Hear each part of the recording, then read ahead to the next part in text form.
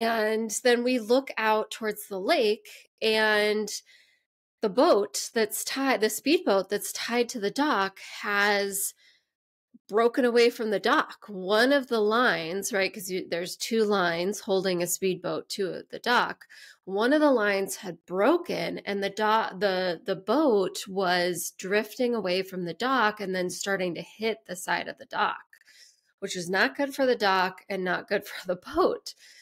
So my dad and I immediately run out down to the lake. We are in our, you know, regular clothes and we run into the water and try pushing the boat, trying to figure out how to get it away from the dock, but then also eh, not, you know, up to safety on the beach. But the waves were crashing my mom had run over to the neighbor's house to get some help because they had a big group at that house.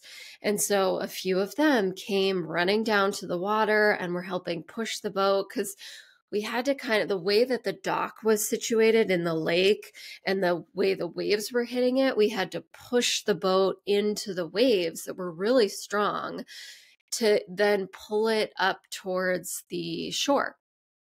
So we finally got it up to the shore. We tied the boat to, I think, a tree branch or something up on the shore so that it would stay right there and it wouldn't move for the rest of the storm. And it was fine. By the time the storm, or once the storm ended, we were able to push the boat back out and get it tied up on the dock again, and all was good. These waves are like blood sugar. Okay, so you know, on a on a beautiful day at the lake, even when it's bright and sunny out, no storms, you still get a little bit of waves. Those waves they're just, you know, super super small, but they're just lapping at the shore very quietly, and there's this really small just up and down movement of the water. That's what you want for a normal, healthy blood sugar rate, just something that goes up and down because our blood sugar goes up and down every day. It's supposed to do that.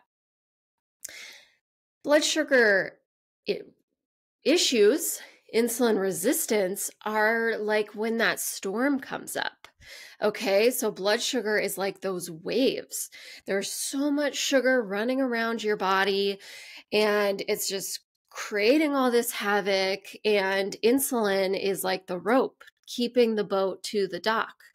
It's trying to hold on but there's too much blood sugar too many waves coming in and so it just it breaks and it doesn't work as it's supposed to.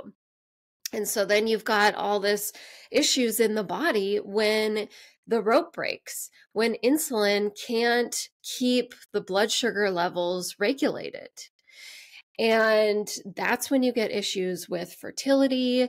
Um, you know, of course, we're here talking about fertility, but having those irregular blood sugar issues also, you know, creates mood problems, you know, irritability, anger, energy issues, fatigue, and sleep issues, even uh, imbalanced blood sugar levels are a one of the most common reasons that people wake up in the middle of the night and aren't able to go back to sleep. Is that familiar to you?